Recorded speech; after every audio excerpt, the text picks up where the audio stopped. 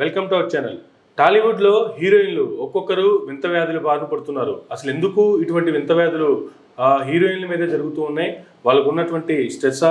మొన్నటికి మొన్న సమంతకి అరుదైన వ్యాధి లక్షణాలు బయటపడ్డాయని చెప్పి తనే ఒక ట్వీట్ ద్వారా అభిమానులకు తెలియజేయగా ఇప్పుడు పూనం కౌర్ తనకి ఒక వింత వ్యాధి వచ్చిందని దాన్ని ఫైబ్రో మైలాజియా వ్యాధిగా డాక్టర్లు చెప్పారంటూ కేరళలో దానికి సంబంధించినటువంటి ట్రీట్మెంట్ తీసుకున్నట్టు కూడా పూనం కౌర్ రీసెంట్గా ఒక ఇంటర్వ్యూలో తెలియజేయడం కూడా జరిగింది. అసలు ఈ వ్యాధి అంటే ఏంటి? ఈ వ్యాధి యొక్క లక్షణాలు ఏంటి? వీటికి సంబంధించి ప్రస్తుతం మనతో మాట్లాడటానికి డాక్టర్ తాటిగా జయరామ్ గారు మనతో ఉన్నారు. వారిని అడిగి మనుషులు తెలుసుకుందాం. నమస్తే అండి. నమస్తే అమ్మ.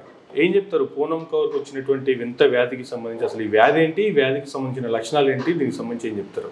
వింత వ్యాధి ఏమి కాదు. ఫైబ్రోమైలార్జీ అంటే అది ఒక ఒక రకమైన కండరాల నొప్పులతో కూడుకున్నది. కండరాలను మైలార్జీ అంటే సంబంధించిన పెయిన్స్ అవి. కండరాల పెయిన్స్ ఉంటుంటుంది బాడీ పెయిన్స్ ఉంటాయి అన్నీ ఎక్సెట్రా ఎక్సెట్రా ఉంటాయి. దాని గురించి పెద్దగా వింతాల్సిన పని లేదు. జనరల్గా ఏముంటుందంటే వీళ్ళు యాక్టివ్గా ఉన్నప్పుడు ఎక్కువగా పని చేస్తుంటారు కాబట్టి వాళ్ళు ఏదైతే యాక్టివ్గా ఏజ్లో ఉన్నప్పుడు ఎక్కువ పని చేసేసి ఆ పనితోనే ఒక స్ట్రెస్ అయినా గురి చేస్తుంటారు. దాంతోనే ఐడియల్గా ఉన్నప్పుడు అప్పుడు బాధపడడానికి అవి కూడా అవకాశం ఉంటుంది. అంటే లోన్లీగా ఉన్నప్పుడు సంబంధించిన విషయాల లోపల అయ్యో ఎవరు లేరు ఆ ఇమేజ్ లేదు అనే దాని కూడా ఇప్పుడు ఆమెకు పెద్ద సినిమాలు కూడా ఏం లేవు. మొన్న ఈ మధ్యలో నేను ఆమెను రాహుల్ గాంధీని కూడా తన భారత్ జోడో యాత్ర కూడా గమనించాను. అంటే ఇటు రాజకీయాలతో సంబంధాలు సినిమాలలో గ్లామర్ తిరగానే జనరల్గా సినిమా యాక్టర్స్ అంతా కలిపి రాజకీయాల ఆ గ్లామర్ను రాజకీయాల వైపు మళ్ళీ ఇస్తున్నారు దానివల్ల ఎవరికి ఇబ్బంది లేదు. So it's very good.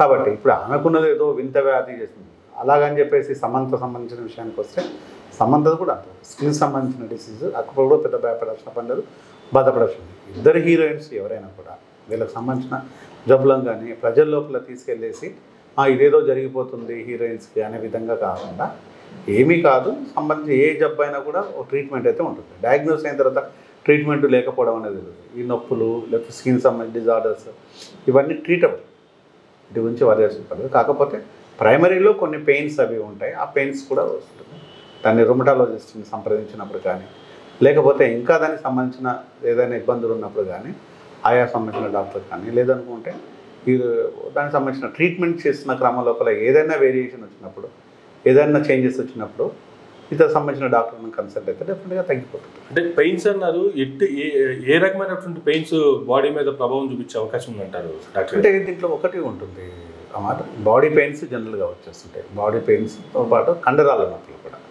ఈ కండరాల నొప్పులతో వాళ్ళు యాక్టివ్గా ఒకప్పుడు నడిచి డాన్స్లు వేసి రకరకాలుగా వాళ్ళు ఫీడ్స్ చేసిన వీళ్ళు. ఈ పెయిన్స్ వచ్చినప్పుడు అలాంటి ఫీడ్స్ చేయడానికి కొంచెం ఇబ్బంది. ఏ కొంచెం చేసినా కూడా అలసిపోవటాలు నీరసంగా ఉండటాలు దానికి సంబంధించిన కొంత స్ట్రెస్ గురైనప్పుడు కొంత జ్ఞాపక శక్తి కోల్పోవటాలు ఉంటాయి. ఇవన్నీ సహజం. అంటే మనకి ఏ స్ట్రెస్ ఉన్నా కూడా మనకు గుర్తుండదు కొంత భయం ఉంటుంది భయంతో పాటు కొన్ని గుర్తుండవు. ఆ- భయం ఏదైతే బ్రెయిన్లో ఉంటుందో దాన్ని మాత్రం ఎక్కువగా ఆలోచిస్తుంటాం. సో ఆ విధంగా చేసే ప్రాబ్లమ్స్ తప్ప ఇది ప్రాణాన్ని పోయే ప్రమాదం అయితే కాదు. అంటే జ్ఞాపక శక్తి కోల్పోవడం అంటే ఆల్రెడీ సోషల్ మీడియాలో కూడా కొన్ని వార్తలు చక్కెలు కొడుతున్నాయి పూనం కౌర్కి ఆ, పూనం కౌర్ గతం మర్చిపోయారు అనేటువంటి వార్తలు కూడా చక్కెలు కొడుతాయి. అంటే కంప్లీట్గా గతం మర్చిపోయేంత మెమరీ లాస్ ఉంటుందంటారా. గతం మర్చిపోవడం అనేది ఉండదు. స్ట్రెస్తోని కొన్ని విషయాల మీద కాన్సన్ట్రేషన్ తగ్గుతుంది. బాడీ పెయిన్స్తోని తన పెయిన్స్ మీదనే కాన్సన్ట్రేషన్ పెరుగుతుంది.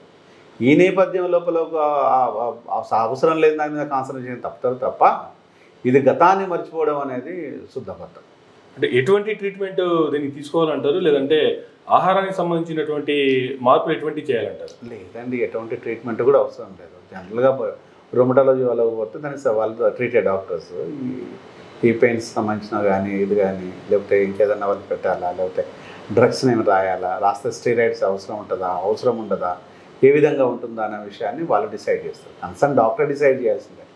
అంతే తప్పితే మనం కూర్చొని అక్కడేదో జరిగిపోతుంది అన్నదే కాదు. ఆ విధంగానే సైంటిఫిక్గా ట్రీట్మెంట్ తీసుకోవాలి. ఇప్పటికే కేరళలో ట్రీట్మెంట్ తీసుకుంటున్నట్లుగా పూనం కౌర్ గారు ప్రకటించారు. అంటే కేరళ వెళ్ళి ట్రీట్మెంట్ తీసుకోవాల్సినంత భయంకరం అంటారా? ఈ యొక్క అంటే పెయిన్స్ సంబంధించింది కాబట్టి బహుశా ఆమె కేరళను ప్రిఫర్ చేసుకుని ఉండవచ్చు ఏదైనా జాయింట్స్లో పెయిన్స్ కానీ లేదా బాడీ పెయిన్స్ ఉంటుంది జస్ట్ వాళ్ళు జనరల్గా వాళ్ళు ఏంటంటే మసాజ్ థెరపీ చేస్తుంటారు. ఆయుర్వేదంలో పంచకర్మ థెరపీ లాంటిది అట్లా చేస్తుంటారు. బహుశా ఆ ట్రీట్మెంట్ ఏమైనా వెళ్ళి తీసుకొని ఉండొచ్చు అని నేను అనుకుంటున్నాను. పంచకర్మ లోపల చాలా వరకు ఈ పెయిన్స్ని ఇవన్నీ రిలీవ్ చేస్తుంటారు. వాళ్ళ టాక్సిక్స్ని రిలీవ్ చేస్తామని చెప్తూ ఉంటారు. బహుశా ఆయుర్వేద డాక్టర్స్ దాంట్లో ఎక్స్పర్ట్స్ నాకంటే. వాళ్ళు చెప్పేది జనరల్గా ఈ పెయిన్స్ ట్రీట్ చేస్తుంటారు కాబట్టి ఈ పెయిన్స్ను తట్టుకోలేక ఆ విధంగా వెళ్ళేసి కేరళకు వెళ్ళి ఆయుర్వేదాన్ని ఆశ్రయించిందేమో అని అనుకుంటున్నాను. ఇటువంటి వ్యాధి అటాక్ జ- జరిగిన తర్వాత ఎన్ని నెలలకు మరలా రికవరీ అవకాశం ఉంటుంది అంటారు ఎన్ని నెలలు ఉంది? With in just one month లోపల రికవర్ అవుతారు. అది పెద్ద నెలల తరబడి పెద్ద ప్రాణాలు పోయే జబ్బేం కాదు.